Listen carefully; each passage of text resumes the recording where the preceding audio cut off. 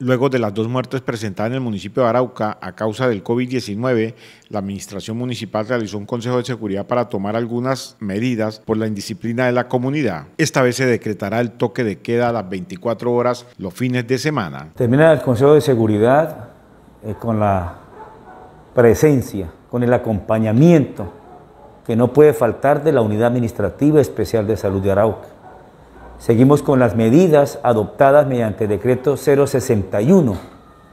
Pero además de estas medidas del decreto 061, el toque de queda los fines de semana. Así nos lo recomienda la Unidad Administrativa Especial de Salud y como máxima autoridad del municipio de Arauca, así lo vamos a decretar. Toque de queda los fines de semana, ley seca, de lunes a viernes, el pico y cédula, y pues no habrá pico y género los fines de semana. El alcalde del municipio de Arauca, Edgar Fernando Tobar Pedraza, manifestó que estas nuevas medidas son por causa de dos personas que han fallecido por este virus. Ya hay dos muertos, dos muertos víctimas del COVID-19. Dos hogares araucanos están de luto. 58 casos de COVID-19 en las calles de Arauca. Población civil, población del común, como usted, como yo.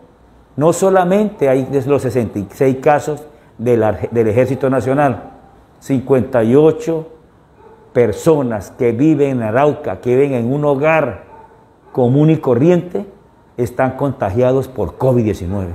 Están aumentando los casos. El burgomaestre hizo un llamado a la comunidad de tener disciplina y a la vez ser responsables ante las actuaciones de cada uno.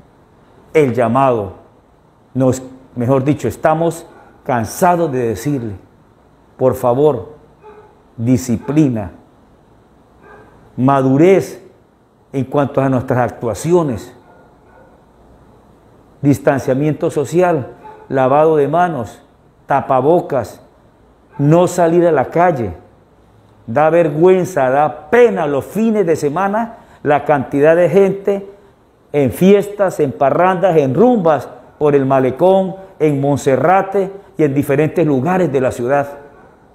Dos muertos van a la fecha, van a aumentar los casos de COVID-19 y todavía no hemos tomado conciencia de que esto es una realidad, esto no es una mentira, esto son noticias que se ven en otras ciudades. Ya en Arauca, estamos padeciendo este problema tan grande que nos va a causar muchísimos problemas. La Administración Municipal le hará acompañamiento a la policía para hacer cumplir las medidas tomadas por parte de la Alcaldía de Arauca.